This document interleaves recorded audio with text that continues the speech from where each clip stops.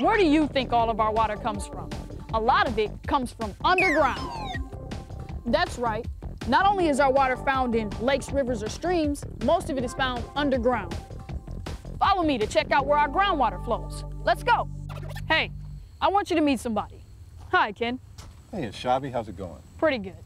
Ken is a hydrogeologist or a groundwater expert. So, Ken, how does water flow underground? Well, Shabi, a lot of people think that water flows in underground rivers or streams, but that's not really true. Actually, it flows very slowly through the cracks and spaces between sand grains or cracks through rock, almost like going through a sponge. Let's check this out up close. Water is stored in different layers of rock, soil, or sand called aquifers. The water flows through and is stored in these aquifers and makes its way to the surface through wells, natural springs, lakes, and streams. So, Ken, how much of our water actually comes from underground? Over all of Wisconsin, at least half the water that people use for drinking, farming, and industry comes from groundwater. And in parts of Wisconsin, all the water that people use comes from groundwater. So what happens when you need groundwater? You drill a well. Let's take a look. The person who determines where a well should be drilled is called a hydrogeologist. The hydrogeologist estimates the level of the water table to see how far down they have to drill the well. A water table? What's that, you ask? It refers to the level of water underground. Remember, there are different types of aquifers at different depths underground. So how deep you have to drill depends on how high the water table is within each aquifer. Some areas have a higher water table, meaning the water is closer to the surface, so you don't have to drill as deep. Now that we know how a well is drilled, let's see one up close. Come on.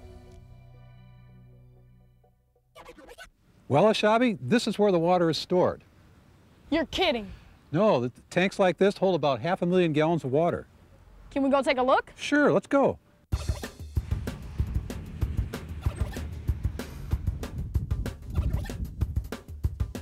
Oh, cool. Well, we're inside the water tower now, and the water is stored way above our heads, up, up above that floor that you see. These two pipes bring the water in and out. One pipe goes out to the homes and businesses that use the water. The other one brings water in from the pump house. Where's the pump house? Right behind us. Let's go see. Well, Shabi, we're inside the pump house now, and this is about the most important part of the whole water supply operation. This is, this is the well and the pump that pumps the water. The well underneath this pump house is about 1,500 feet deep. The incoming groundwater travels through the pipes to the water tower where it's stored. When water is drained from the tower, the water table in the well is lowered. When this happens, the water table needs to be replenished, or as we say in the business, recharged. How does the water get back into the ground?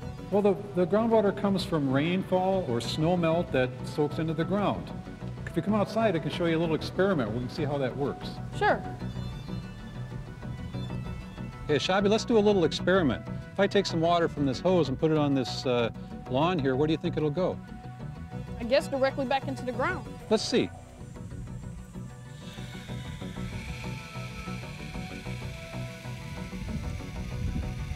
See how it's soaking in there?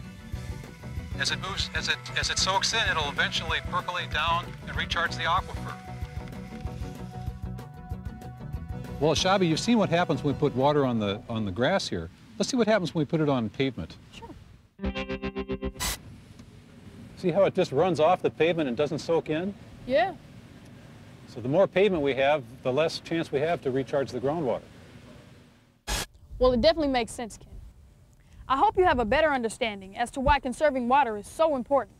So make sure that you don't use more water than you need. That way we'll have plenty for everyone.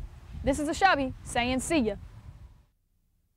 Portions of the preceding program were co-produced by the Wisconsin Department of Natural Resources and Discover Wisconsin Productions as part of the children's television series Into the Outdoors.